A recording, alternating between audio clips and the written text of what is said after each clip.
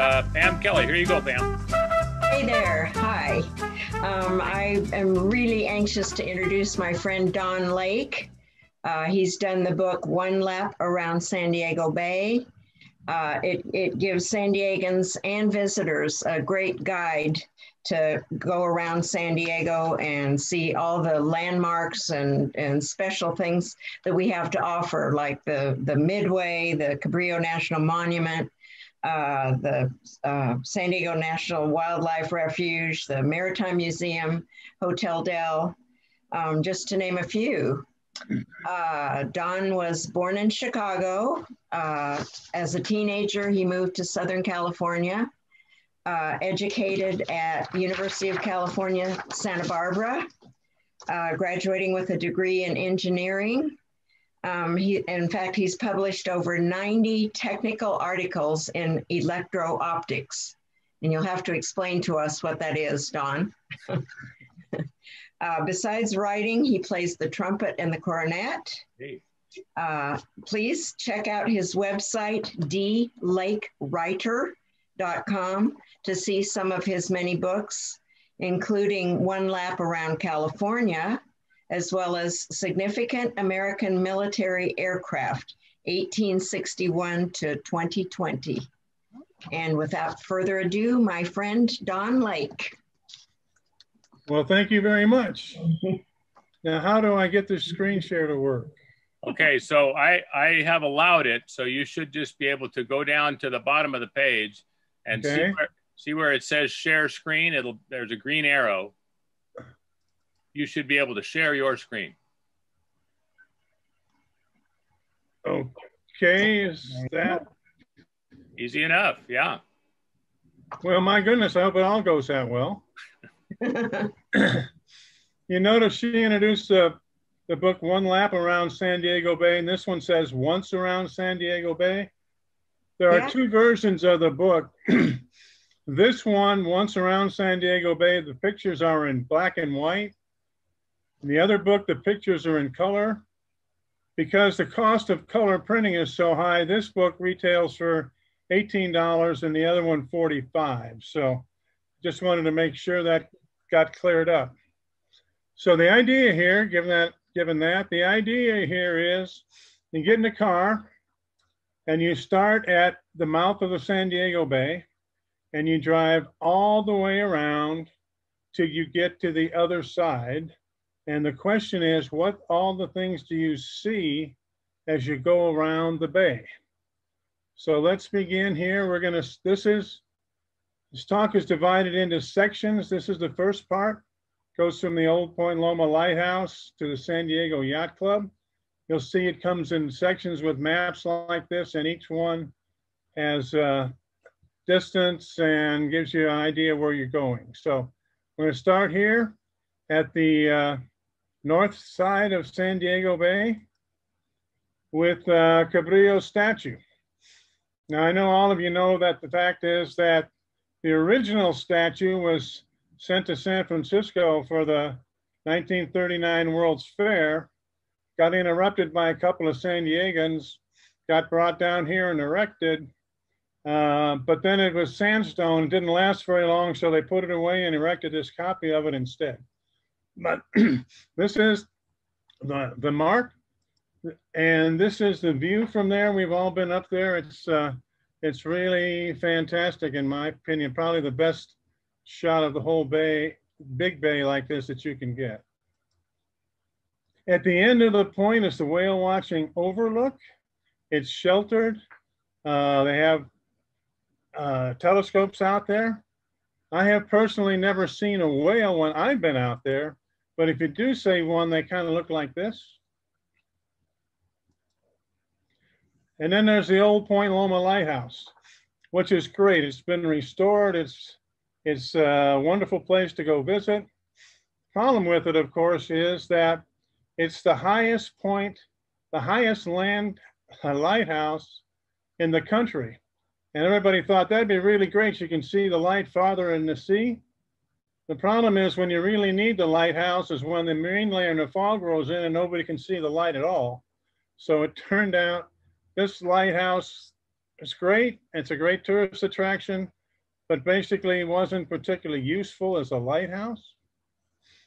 Now we come down the road, we come to the Fort Rosecrans National Cemetery. Uh, hats off to all those brave military men and their families that are interred there. Uh, it's always inspiring when I go by there, but there is one little sidebar for this particular cemetery, and that is it's, as far as I know, the largest basically undisturbed grassland, green grassland anywhere in San Diego. It's a few golf courses, but they're being used all the time. So for all you bird watching fans, this is sort of a unique habitat up here at Fort Rosecrans National Cemetery. Here's the Bennington Monument. Everything up there is low with the white headstones except this one. This, of course, is honoring the Bennington that blew up in the early uh, 20th century. We'll get back to that later. But this is the one tower that you can actually see rising above the cemetery. Now we're going to go back and go inside. The next few things you can only get to if you're Navy or one of the days like Cabrillo days when they open it up. But here's a picture of the Army marching at both Fort Rosecrans in one of the very few flat spots. The Army, of course, was in charge of protecting the mouths of harbors. And so it was their job to protect the entrance of San Diego Bay. The Navy didn't take over all of this area on uh, Point Loma until 1959. Here's some of the big gun emplacements, 14, 16 inch guns that they used to uh, uh, protect the harbor. They were fired, but never in, in, uh, in war. They just practiced with them a little bit. Here's the uh, old point, the second, the new Point Loma Lighthouse. It was built uh, in the late 19th century here on Ballast Point. And I know all of you La Playa Trail people understand what Ballast Point is all about, but a sailing ship has to have an a, amount of weight in its keel to hold it upright and keep it stable during storms and things. So how much ballast you need depends upon the cargo the cargo they picked up here in San Diego were primarily hides, which are very light. So when they also had to pick up the hides, they also had to pick up the rocks. And so the ballast point actually was used as the ballast for the uh, sailing ships that called upon here uh, from mid 1700s on. Here's a submarine squadron. Uh, this is one of the things that most San Diegans don't like to hear, but mile per square mile, there are more nuclear reactors here in San Diego Bay, I think, than any place else in the world. And when the uh, submarines in, that's a couple dozen of them. Well, a dozen of them anyway. Here's the flip ship. This is in its vertical position. This is a unique ship in the world because when it's like this, it's, it, it extends down three or 400 feet under sea, and everything is usable as a, as a lab down there. And the Navy used it to perfect their listening techniques for deep underwater uh, detection of things like primarily they were looking for Soviet submarines.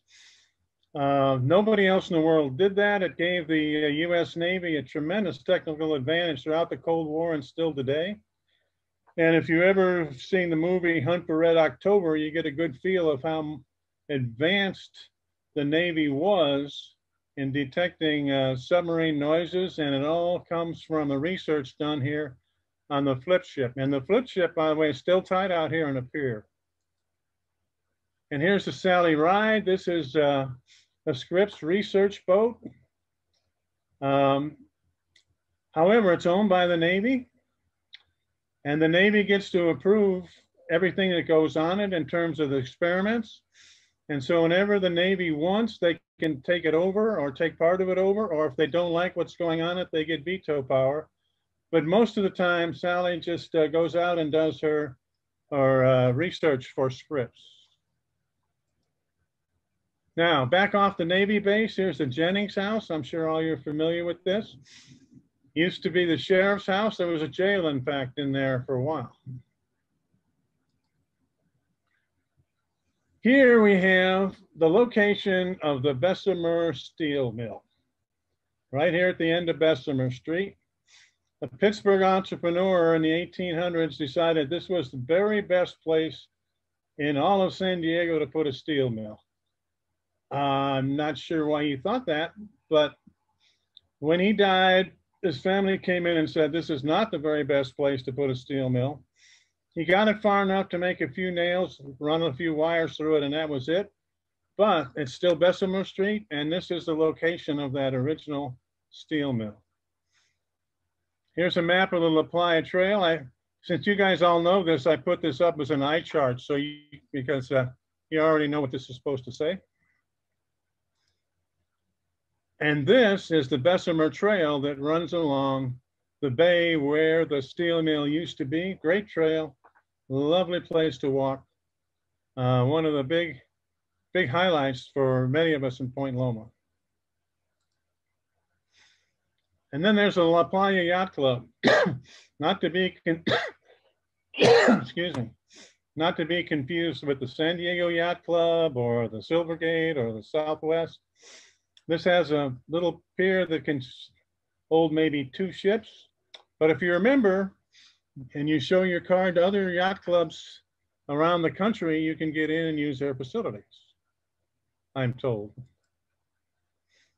Here's the San Diego Yacht Club. And for a while in the 1980s and 90s, this was the epicenter of worldwide racing. And why? Because of the America's Cup that was here.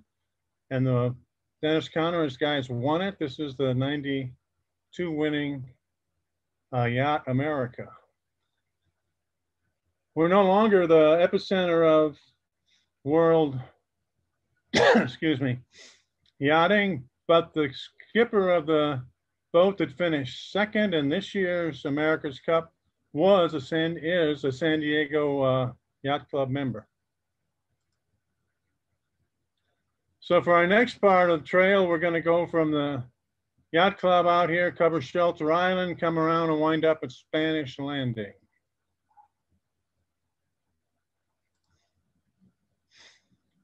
And the first thing we're going to find is we'll turn into the Avenida de Portugal and find the Portugal Historical Center. Whoops, wrong direction the Portuguese Hall. They have a market there. Last Sunday, we uh, had breakfast uh, up at, and where do we have breakfast? We had breakfast at Finnegan's. Anyway, and they had a car show in the in the in the lot for their marketplace for that day. But most importantly, for the Portuguese chapel for the Portuguese community is the chapel here, where the sailors would go out and uh, say their prayers before they left and try and be safe. You drive around and look at many, many of the European fishing villages, they all have a little sailor's chapel. And this is ours in Point Loma. Now we'll go to the end of the Drive out to the end of Shelter Island. Here's the Yokohama Friendship Bell with the uh, statue, of the red shoes right here. Great little area, great little park on it, park within a park out at the end. Here's the Pacific Rim Park at the end with the Pearl of the Pacific in the middle of it. You progress down Shelter Island a bit, you get to the Tunaman Memorial. There's a lot of other great public art on Shelter Island. It's very nice, very, uh, very great and interesting to do it. Here's the new launch ramp. I'm told this is the largest launch ramp in California, if not the United States, and the busiest during summer times. Maybe not last summer, but uh, normally. And here's Shoreline Park, that beautiful piece of grass that runs all the way the full length of uh, Shelter Island, great views, great place to walk. And here's Shelter Island, uh, Shelter Island Yacht Basin, the park. Uh, an aerial view of Shelter Island itself.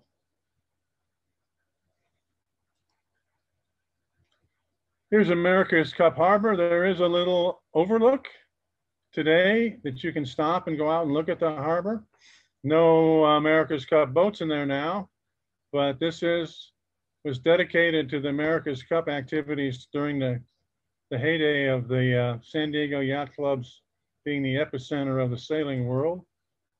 If you go around the other end, you get to Fisherman's Landing, where the commercial boats that take out the weekend sailors, half day, full days, extended trips. I take most of these photographs, and when I went down here, I thought I'd maybe I'd get a picture of all the boats, but it was really, really busy. So what I got a picture of was all the boat slips. Here's the USS Never Sail, three-quarter version of a Navy ship. they say that more than a million sailors and Marines trained on this to get a feel for what it was like on a real ship. When they built it, it got incorporated as a ship in the Navy uh, annals, but when the Navy redid their numbering system uh, in the 60s, they didn't know what to do with a building that wasn't a ship, so it's no longer registered as a ship, but it's still uh, a, a landmark on Point Loma. And now if you go up the channel, it serves, uh, that comes from the bay and serves, used to serve as the uh, water entrance for uh, product delivery into the Navy base. You get to the 52 boat memorial. Every one of the 52 submarines that were lost during World War II it's memorial here, what the ship did and all its crew. Very touching, very touching to me. There's a, the Spanish Landing Trail, which is different than your La Playa Trail that ran around the bayfront here. And here's the present day Spanish Landing Park. It's hard to find artwork in Spanish Landing. This is one of them. Until they trimmed these trees. It doesn't look as trimmed as all that, but it was almost impossible to find this, but there it is. Towers of, towers of art, towers of art in Spanish Landing. Okay, our next segment goes from does Harbor Island, the airport, all the way to uh, Waterfront Park. We'll start here with Harbor Island Park. I think it's just amazing how well the Port of San Diego has managed to have so many beaches so many people can use on the harbor. Here's an aerial view of Harbor Island. And one of my favorite uh, pieces of public art all over the bay is Minnie the Mermaid. Just can't imagine anything more beautiful than Minnie. Well, actually, probably can, but I think it's still a great, great piece of abstract art, semi-abstract art. But here's Hope Complex. This is just a part of it, dedicated to cancer survivors. Very touching here on Harbor, Harbor Drive. If you haven't gotten out and walked through it, you should. Now across the street, where the airport is was the airfield where they Ryan built the Spirit of St. Louis. And this picture, they tell me, was the first flight of the Spirit of St. Louis coming off from where our airport is today. Far, far different now than it was then. And during the war, they built B-24s, the long production line that runs around, uh, runs along Interstate 5 is still there, and it's just being, I'm sure you're all are following the uh, activity trying to decide what the Navy and the city is going to do with that piece of property. But in the beginning, they built B-24s there, and this is what a B-24 looks like, uh, taking off from Lindbergh Field in World War II. This is here because San Diego had a short single runway, short single runway. This was the first jet aircraft that was able to land at San Diego. It's a shortened version of the 707. That's so it didn't need as much landing. The airport and the city, as early as 1957, made a res resolution that they were going to find a new place to put the airport. And here we are, 57, that's 43, 50, 55 years later. The resolution is still in place, but we still have and still using Lindbergh Field. And inside the terminal is public art, and here's one of them. I'm sure all of you who travel are very familiar with what this looks like in real life. The Coast Guard Air Station is here. Here's a picture of one opened in 1937. This is the air station here. Prior to this, they used blimps and, and ships to try and find, but there was a piece of technology that arrived, built here in San Diego in the same place they built the 24s, the PBY Catalina. It wasn't very fast, but it could fly for 25 hours and was a great scout plane and the Coast Guard used it for years to uh, patrol the, the seas off Southern California, off the whole country for that matter. Local product here, the PBY Catalina. And here's the Laurel Street Roadstead. Roadstead, of course, is the sheltered place where people can come in in the harbor and be totally protected. Um, this is ours at Laurel Street. Still there and still used at, at that, that way. Okay, our next section goes from Waterfront Park down to the Convention Center. This is sort of section, it's only a mile and a half, but of course, this is the one that all the tourists mostly see. It has tremendous number of attractions per, per capita, per distance. So this is the next section that runs right along here downtown. Here's the Guardian of the Water erected in the late 30s by a local uh, San Diego sculptor built out of uh, granite, came from Julian. He put it at the back of the, the plain back of the county administration building because the main front of the administration faces inland and it was supposed to be the terminus of a grand Champs-Élysées type of highway from there to Balboa Park. But when Interstate 5 came through, that kind of ended all of that grand hopes for the great, uh, the great street from the park to the county administration building. Waterfront Park is a tremendous resource, particularly for little kids. As you can see, they can play in the water. It's only a couple inches deep. It's great fun to watch the kids down there. And it too comes with a lot of public art. you may think this was a character of uh, Tony Gwynn, the great all-time Padre. Actually, for some of us who are still playing softball, senior softball, it looks like almost all the guys that are in the field when we're out there playing with all those 70-year-olds. The uh, Maritime Museum, the Star of India, the main uh, main attraction. This is a San Salvador. This is the excuse me. Volunteers built this over a number of years in Spanish uh, uh, Park.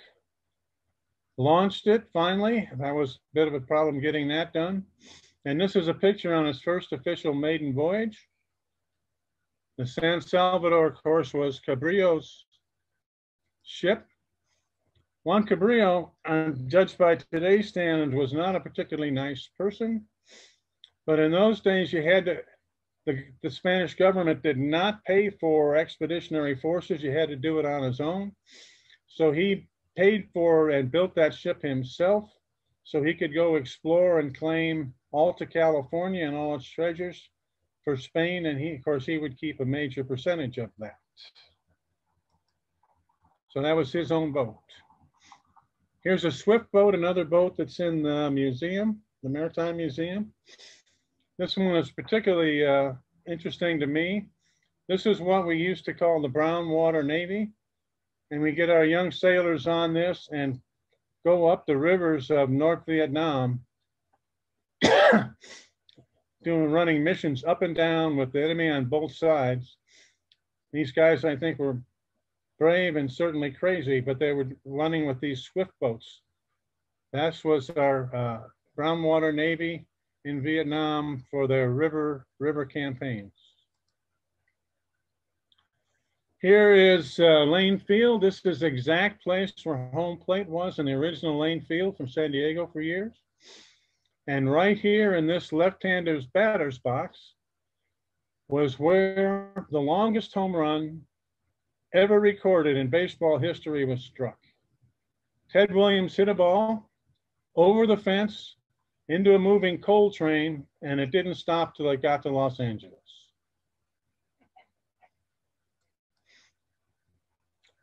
Here's the Santa Fe station. It's glad to see the Santa Fe station being restored. the plaza is back. It's no longer a parking lot. The inside, the tile work, the woodwork is still very, very interesting from the original 1915 versions. Uh, it's worthwhile actually strolling through there. If you haven't done that, take a look at the uh, craftsmanship that went into this terminal back in 1915. And here's the Electra. This for years was the power plant for downtown San Diego. Became obsolete. Instead of taking it out because it's a kind of a unique building, they built a condo up the middle of it. And so this is now the Electra is what, a 40 story condominium with the old shell of the old power building still there for everyone to see. Here's the Broadway Pier in better days when all the cruise ships were in. Here's what it looked like in 1943. I, this is Navy Pier on the right. My screen has, let's see if I can do this. Right here's, right here at the front door of this building right here on Navy Pier, there were something like a million or more soldiers that walked through that front door, got on ships here at Navy Pier, and went out into the Pacific to fight the island hopping and all the wars in the Pacific. Most of this building is now gone. That front door is still there. I don't know if it's planned to be preserved or not, but it was one of the great, in my view, landmarks of our guys going out to war in that second war. Here it is in 1950. Um, right here, you see something, it's not there anymore. It's covered by Seaport Village, but this is Dead Man's Point. It's got its name when a sailing ship in the 1700s arrived and sort of drifted to it. They called out to it, nobody answered. They went out to the boat, no one was alive. It just sort of happened that it showed up there. And so this got the name of Dead Man's Point. Years later, the Bennington was anchored here. Excuse me. They got a call to do a rescue. The Bennington fired up her coal-fired boilers, boilers and exploded. The Navy had a great deal of difficulty Navy architecture figuring out what to do with coal dust in those days. The Bennington blew up because of it. The monument's still up in Fort Rosecrans. And by the way, that same reason was the reason that the Maine blew up in Havana Harbor. But of course, that was blamed on the uh, Spanish, and so that triggered the Spanish-American War. Here's the Midway Museum. We've all been there. Here's the Midway out to sea. I'm particularly fond of the Midway. Its keel was laid on my birthday in 19, October 31st, 1943. Happy to say it's really one of my uh, have been with me for my entire life, the Midway. Here's Tuna Harbor Park, which is the midway beside it. And here's the San Diego Memorial. There have been three USS San Diegos. This one is the one in World War from World War II. There's one today, but the original one started life as the US, the battleship USS California. It was part of the Great White Fleet that Roosevelt sent around the world. But then our battleships were too small to handle the dreadnoughts, so we, we scaled up the battleships to the very big ones that were at Pearl Harbor. The San Diego got demoted to a cruiser. Uh, served some time in the Banana Republic Wars, but in World War One, sailed uh, sailed around to the Atlantic and became the only U.S. capital ship sunk by enemy sunk by the enemy in World War One. It hit a mine just outside the mouth of New York Harbor, sunk in about 100 feet of water. And today, it too is the national monument, underwater monument, where saved for skin divers and uh, other people who like to go down. It's about two miles offshore in about 100 feet of water. The USS, the first USS San Diego. There next to the aircraft carrier is the aircraft carrier monument, including Taffy 3. This is the second monument. This is where couple of little Jeep characters and destroyers, a couple of destroyers held off the entire might of the Japanese Navy at the late Battle of Leyte Gulf. Here's unconditional surrender. I'm glad we have this back. When it first showed up in San Diego, there was a great hue and cry. Should we keep? It's it too kitsy. They took it away. Then the hue and cry got even louder, and it's now back. I'm glad to see it. At the end of the point, of course, is the Bob Hope Memorial and recognizing his work with the soldiers from not only World War II, but all the way through the Gulf War and his efforts to cheer these guys up. Did a tremendous amount of great work for the military, Bob Hope, and his memorial. Here's Tuna Harbor when this was a tuna town and all the canneries and things were here. Here's Tuna Harbor today. This is taken from the convention center. These are not tuna fishing boats. Here's Ruocco Park at the entrance to Seaport Village. Here's Seaport Village. This picture is actually taken from Dead Man's Point, what was Dead Man's Point. Here's the uh, the carousel, the Looff carousel. This has been moved around a couple times. It's been here now for over 20 years, but he, it used to be on the Santa Monica Pier. So if you've ever watched 80s and 90s movies and television shows, and you often can see this carousel in its earlier days on the Santa Monica Pier. Here's a cell from headquarters building. Headquarters building is now a commercial activity, but they saved a couple of cells and some mugshots to remind us about the days when it actually was a police building. Here's a trolley. You'll see me putting in lots of trolley pictures. I like trolleys. Here's the present day San Diego trolley. Here's the transit center with the library over here on the left.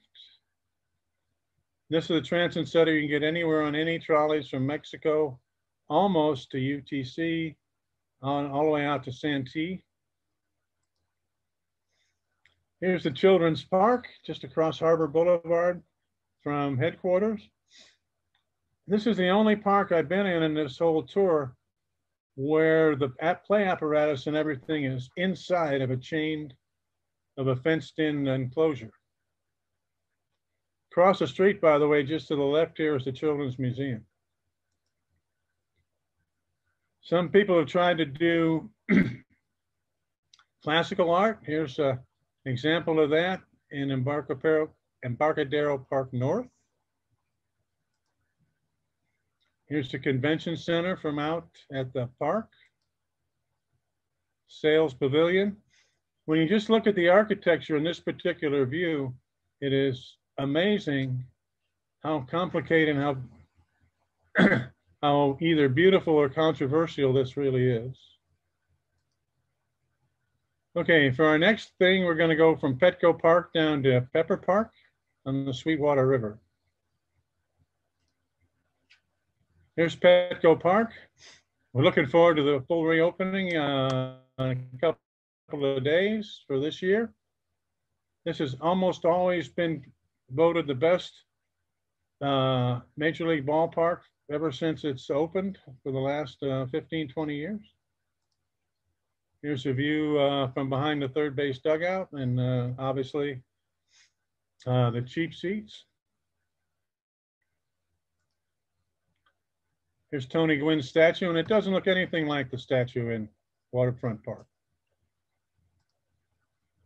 Here's a symphony.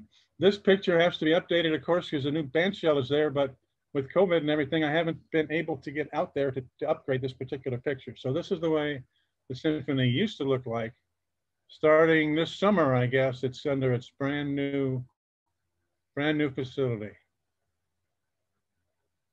Here's the pier in Embarcadero Park South. This is the only pier that I know of in the state that you don't need a fishing license. In fact, you can rent a fishing pole and go out here and do what you'd like. Uh, and one of my favorite restaurants, and I'm a sucker for restaurants with honest name, lives right here. And its name is Beer Baden Burgers, which describes exactly what you get there. Here's the point of Port of San Diego from Chavez Park. You'll notice that this is not a container ship. This is, San Diego is not a container port. It's what they call a broke back uh, port, which means it caters to all of the cargo that cannot be or is not being put in in containers. So there's a couple acres of freezers here. It handles fruit, pineapples, grain, automobiles. It's the major West Coast port for all of the cargo that doesn't go in containers. Here's Cesar Chavez Park. You've seen the Tuna Memorial. There's others. This is the park here way at the end that actually tells the story of the tuna industry in the monuments and and statuary. In fact, this building behind it here, this white building, once once a tuna cannery. Uh, the bio and lard in Chicano Park isn't close enough to the water to get included, but some of their art is, is uh, you can find along Harbor Drive.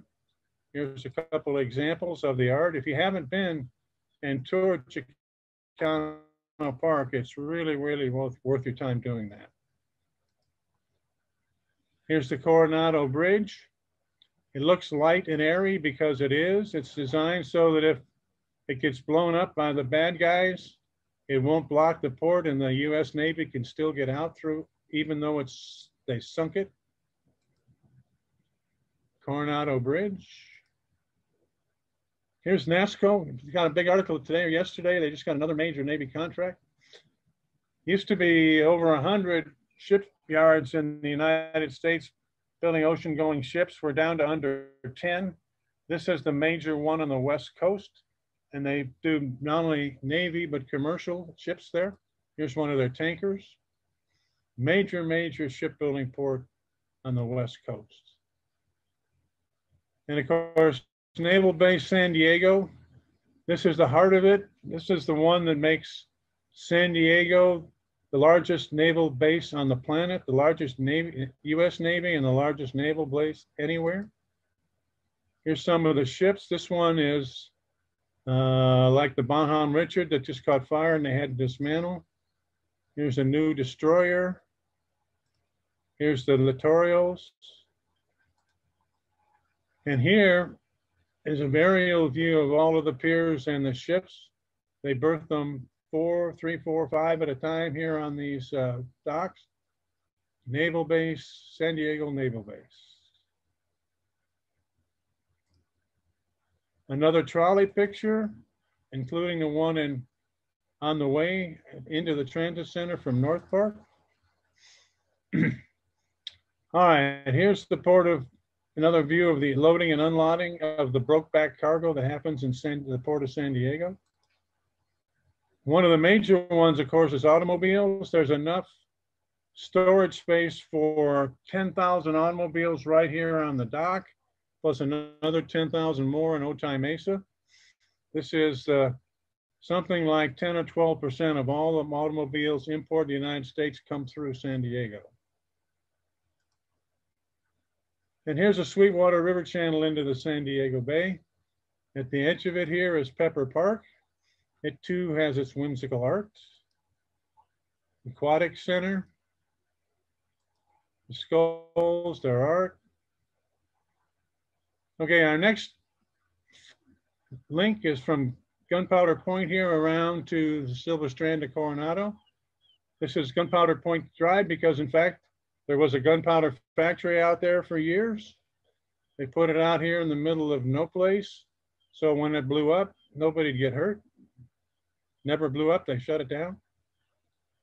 And here's the Sweetwater River. This is one of the two rivers that feed San Diego Bay. On one side, to the north, is basically the industrial and military might of the nation, where they come in with the cargo, they build the ships, the Navy is there. And on the other side of the river are 1,200 acres of Sweetwater marsh, which is basically preserved to be exactly as it was 10, 20,000 years ago. The Sweetwater River is a time warp dividing modern industrial living and the way it was way back when. And to learn about that, they have the Living Coast Discovery Center out here. It's well worthwhile. They have lots of lectures and exhibits and trails, obviously, that go through the marsh. Here's a view for the uh, Chula Vista Yacht Basin. And here's the mouth of the Otay River. This is the other river that feeds San Diego Bay. We get around on the Silver Strand. Here's a Navy base Coronado. Uh, and we're starting to talk about amphibious forces, SEALs, a lot of interesting communications and research going on on the Silver Strand. You get up to the Cays and you find that you can go on, and I don't know if they've reopened yet, but you can go on a gondola ride. Very romantic, there's wine, you can see the sunset. And if you really like Italian love songs, the guys uh, sing to you while you're there. Very interesting to have a gondola ride through the canals of the Coronado Cays. We're all familiar with the Silver Strand on the Pacific side, but on the bay side, Silver Strand State Beach has a great, as you see, a great beach and a lot of good things to, to do.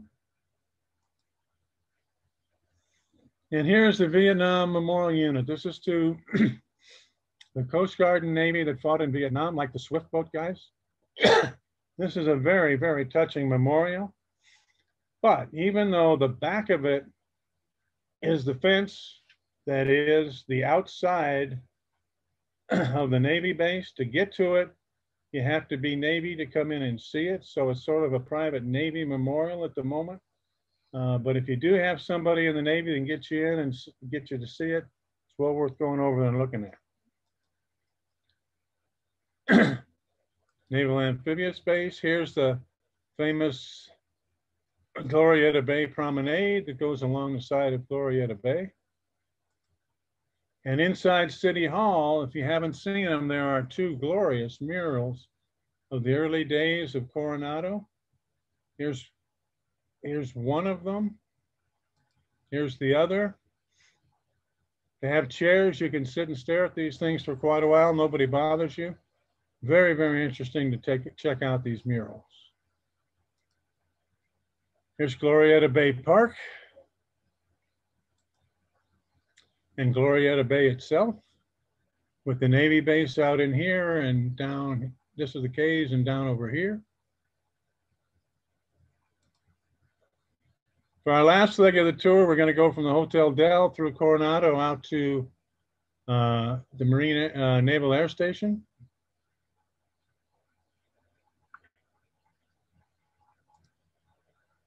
This is actually a little bit far off the the path is promised, but I'm a sucker for sunken ships. So this is a gambling ship that sunk off Coronado in 1937.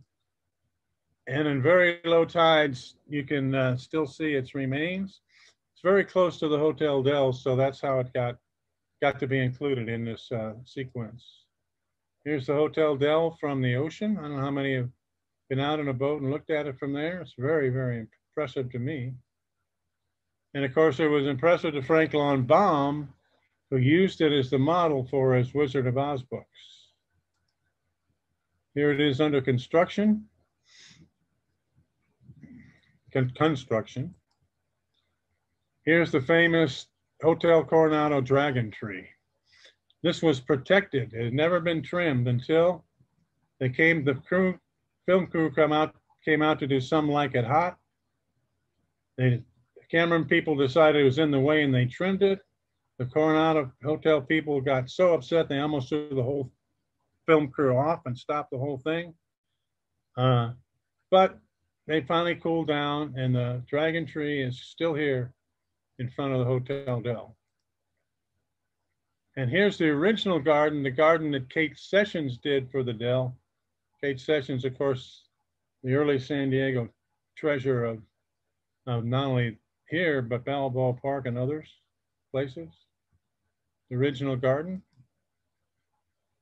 We can't go on with the Hotel Del without talking about Katie Morgan. Of course, Katie is the one who felt she got stood up by her lover and walked into the sea.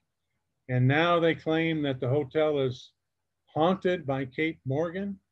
They charge you extra for to use her room, even though it's a small room that overlooks the dumpsters, I'm told. But the other interesting thing to me was for every ghost sighting that's reported in from Kate Morgan's room, there's two or three reported from her maid's room, which is down the hall and up the stairs, a very small little room that you can still rent. And that one has far more ghost sightings than Kate Morgan's. Here's the Hotel Del with the power plant in front. At the time this was built, this was the largest power plant in California, served the Hotel Del and all of Cal, uh, Coronado.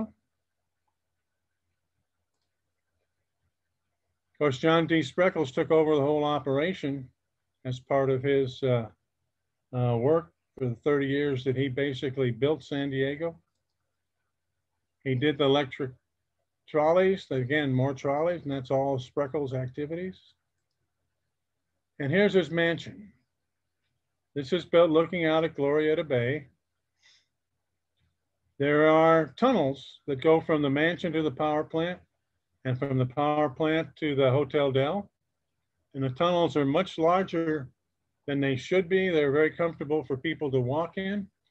And uh, the stories are that there was a great deal of uh, hanky panky going on between the people in the mansion and the people in the hotel that got that uh, they managed to get away from it by using the tunnels.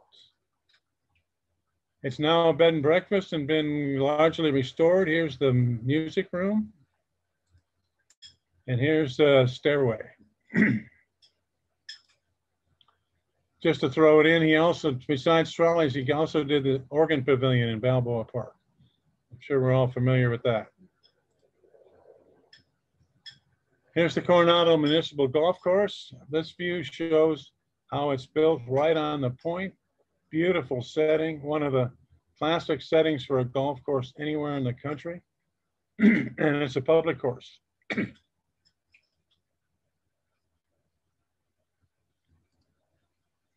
Here's the Tidelands Park at the base of the bridge.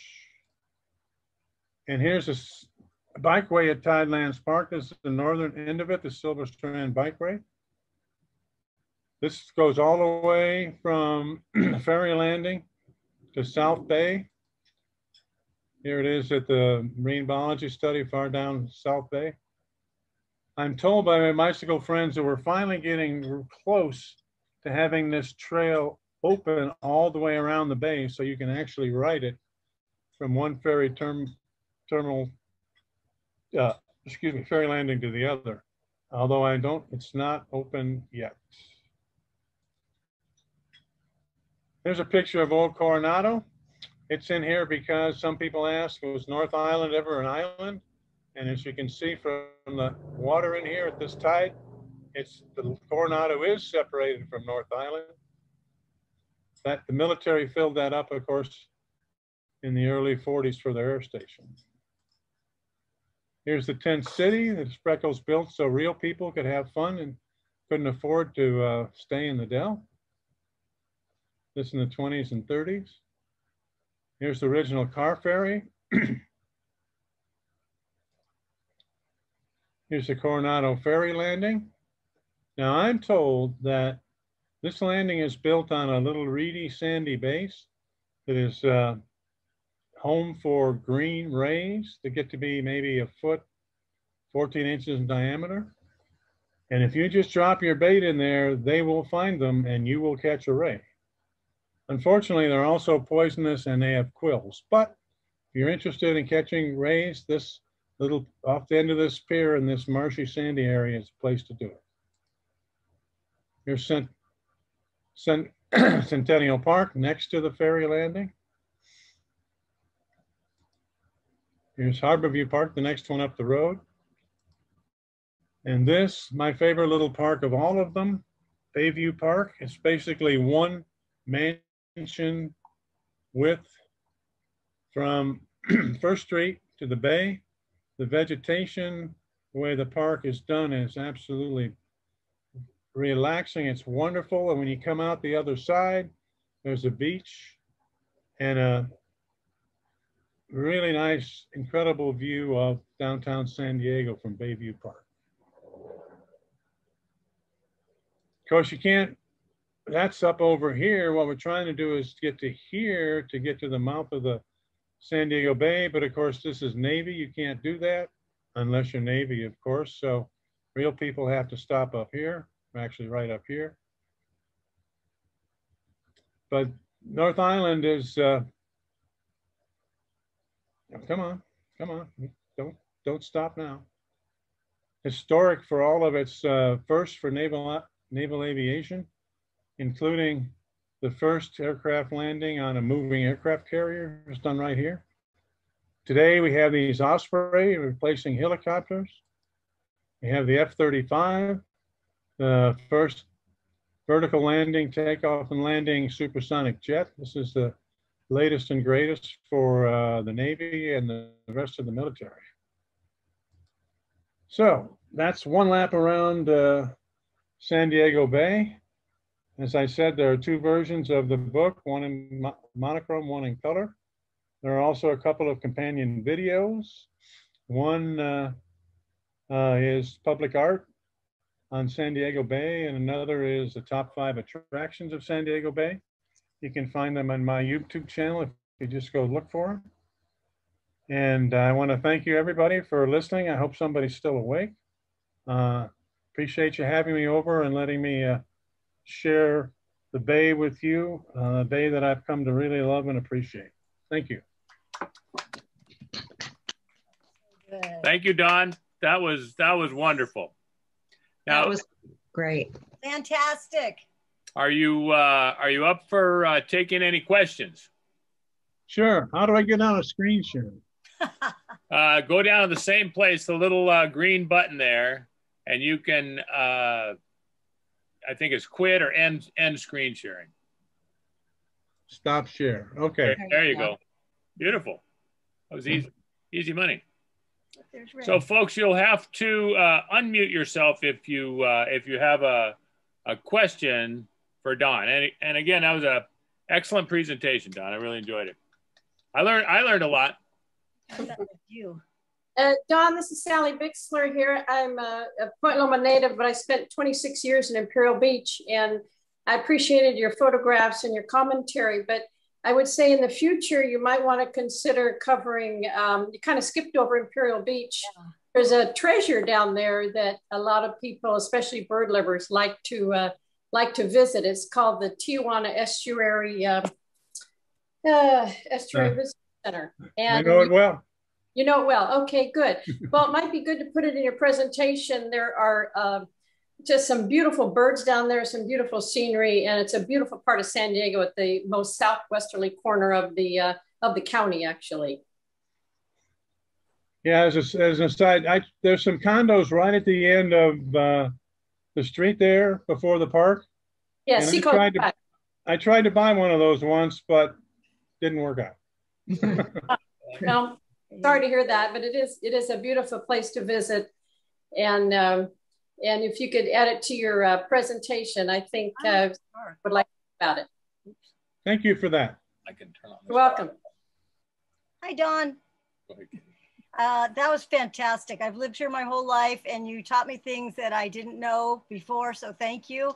I loved your um, theory of Frank Baum and the Hotel Del. I wanted to know if you ever heard the other theory that he looked out at Lomaland which was started in 1897 and his book was written in 1900. And he saw the lights of Lomaland and that was his inspiration. Had you ever heard Yeah, I've heard that, but but you know, if you take a walking tour of Coronado, one of the places they send you by is Frank Lloyd Baum's house. Right. I've looked So I tend to live tend to lean toward the, the Hotel Del. okay, okay. Well, I want it to be Lomaland, but I'll go with you.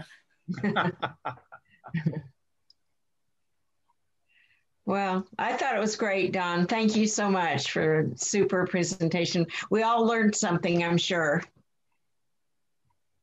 Definitely. I had to take notes. Yeah. That was so good. I was taking notes. Kitty took a page of notes. You you need to buy the book. It's wonderful. I'm going to. I'm gonna I, am gonna buy the color version. Good good point, Pam. There you go. yeah, you've got one one buyer right yeah. here. Okay. Uh, do do they set? Uh, does La Playa or someone around here sell the book? You get it at uh, Amazon. Since it's an independent publishing book, uh, Barnes and Noble and those places will order it for you. But the best thing to do is just go on to Amazon Books, look up Don W. Lake, and you'll find it and all the rest of my books uh, right there Okay. Available. Thank I wonder you. if they I wonder if they have it in La Playa books. I wouldn't I, I, wouldn't, do, I wouldn't be surprised. You know, when I went down there to try and get them to buy it, the uh, the COVID thing had started. And I never talked to anybody, so okay. I don't know if they have it, but I haven't made contact with them. I'll I'll work on that for you. Thank you. sure. He's got connections. Yeah, well, not really. Uh, I live down the street. Hey, uh, any any further questions for Mr. Lake this evening, folks? So good. Marty said this is a great bike ride. These are a couple uh, uh, chat comments. Excellent talk, Don. Thank you, etc. So, all right then. Uh, without further ado, uh, we'll let uh, we'll let Don go. And thank you again, Don. That was a wonderful lecture, and uh, we appreciate your time. Thank you for having me. I enjoyed it. Very good. Thank you. Okay. Thank you. So long, everybody. Bye. Thank you, Eric. Have a good evening. You're, Don't very, forget to come see Karen. You're welcome. Bye bye. Watch Karen next Thursday. Thursday. Yeah, tomorrow. This Thursday. Yeah, this Thursday. Hi, Karen. Yeah, this is hi, Karen. Hi, Ray. Hi, Ray. Hi, and Kathy. Hi. Say good night, Hey, there's Kathy. Good night, Dick. First time